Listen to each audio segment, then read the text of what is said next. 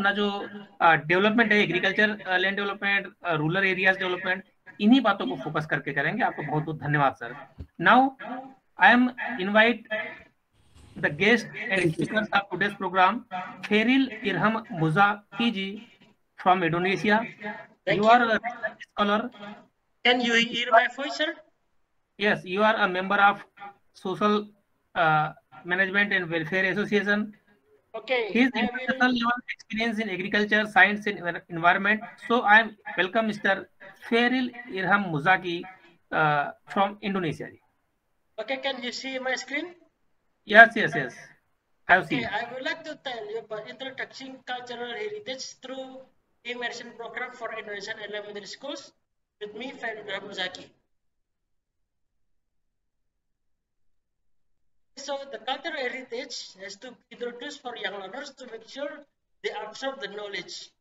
Cultural heritage has to be introduced to guarantee that Indonesian scholars have to create system of belief.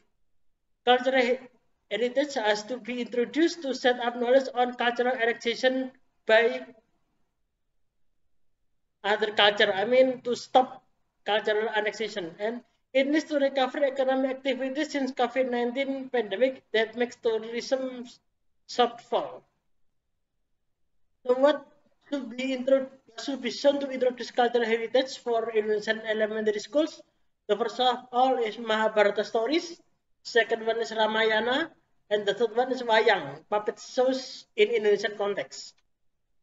So the Ramayana stories teach us about wisdom, teach us on how should a person behave to others, teach about promise, teach about loyalty and integrity. For Mahabharata stories, teach us about how a student learn, teach about active learning, teach about good behavior, and teach about attitude. The Wayang stories created on local stories has been used before the age, I mean before the independence of Indonesia, and have many moral messages such as Malikunda, follow our for parents' order, Jakataruk, don't cheat others, Timun Mas, the Golden Kekaber, teach on creativity in facing problems, and the legend of Cibulan. Please follow the rule. That is the we have many more Indonesian local stories that should be explored. In conclusion, elementary school students have to be introduced with a local culture from their parents. The elementary school have to be created to teach, to be taught, to make uh, their own stories by modifying the the local culture and base that we have be teach taught. Okay, I think that's all for today, and thank you so much for the chance.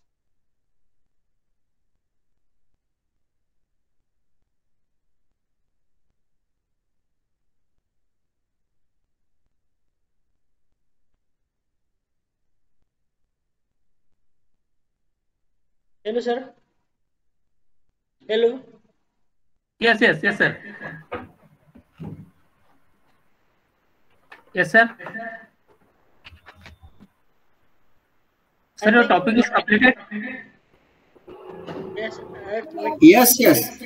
Sir is completed, uh, sir, topic.